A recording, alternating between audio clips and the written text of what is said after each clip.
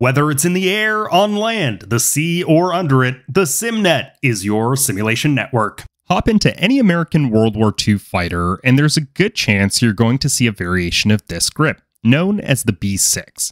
It was used in the P 51 Mustang, the F 6F Hellcat, and two of them together formed the yoke of the legendary P 38 Lightning. You can hold this piece of history in your hands today because the files for this grip are available for free now on my new Thangs page. If you're into flight simulation and flight simulation gear, consider subscribing, as there are plenty of projects like this coming soon. With the Hellcat soon coming a digital combat simulator world, I felt there was no better time to replicate this neat little piece of history. Now, unlike my previous grips, I did not have access to a LiDAR scan of this grip, so the trigger is slightly dimensionally different than the real thing. However, the trigger in this design is compatible with all versions of my Universal Flight Sim trigger, which makes it possible to swap out for a different size, shape, and feel. The only limit is your imagination. If anyone has access to one of these real grips and a scanner or high end iPhone, please do shoot me an email at questions at thesimnet.com and I will happily remodel and re upload this design to be one to one accurate in addition to my existing version released today.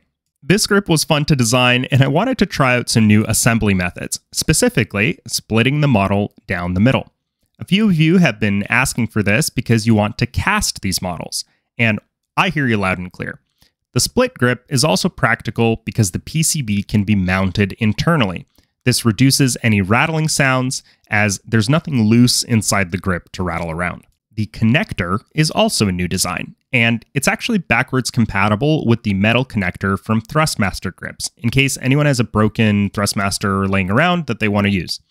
I've also been dabbling in 3D printed parts made of metal for the connectors for additional weight and strength. Now, I don't have access to a metal 3D printer. These parts were actually provided by our channel sponsor, PCBWay. I discovered PCBWay while searching for an online vendor who could help manufacture these super slick five way PCBs designed by iMarkMeaties on Reddit.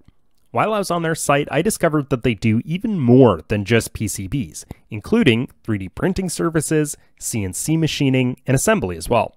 So if you don't have access to a 3D printer, PCBWay offers that service.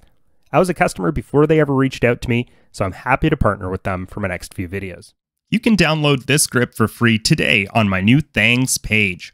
I will also be posting future paid designs here on Thangs as well, as a few folks messaged me saying that they were not comfortable with Cults 3D as a platform.